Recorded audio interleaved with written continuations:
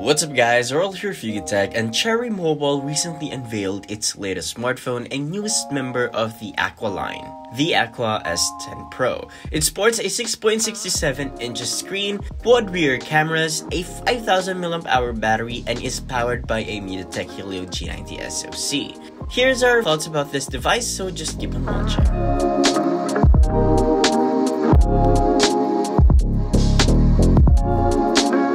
First things first, let's see what's inside the box. Lifting up the lid, you will be greeted with the phone itself. Then underneath that is the SIM ejector tool, a manual, a screen protector, a free jelly case, earphones, USB Type-C cable, and a charger. So now let's talk about the device. Despite having a large screen, the Aqua S10 Pro is easy to grip thanks to its narrow frame and curved sides at the back. Although this device is made out of a polycarbonate material, it is solid and well made.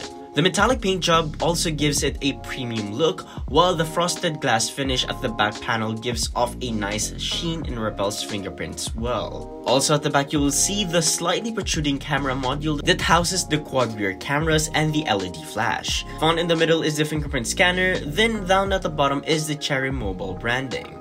The Aqua S10 Pro features a large 6.67 inches screen, it has thin bezels with slightly thicker chin, and has a hole punch at the top for the 16 megapixel selfie camera. Find above it in the bezel is the earpiece. Cherry Mobile didn't mention any specific glass protection, but it is already has a screen protector pre-installed. Found on the left side is the triple card tray for 2 nano size SIM cards and a micro SD card.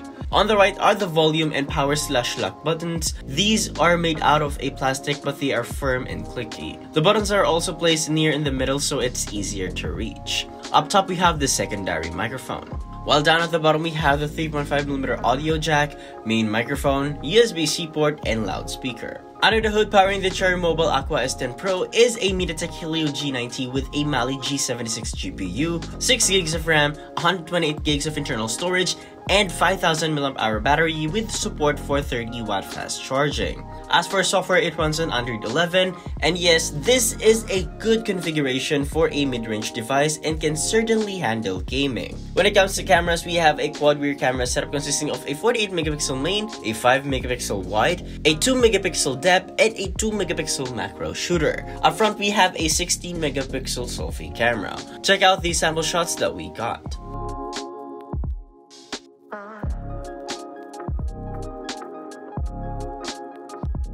The Cherry Mobile Aqua S10 Pro is priced at 7,999 pesos, which is commendable given its specs. We'll know more about how it performs in our full review, so do stay tuned for that. For now, what do you guys think about the Cherry Mobile Aqua S10 Pro? Well, do let us know in the comment section below, and if you enjoyed this video, be sure to drop a like, subscribe to our channel for more content, hit that bell icon so you don't miss any future uploads, and be sure to visit yugatech.com for the latest tech news and reviews. This has been Earl, and I'll catch you guys in the next one.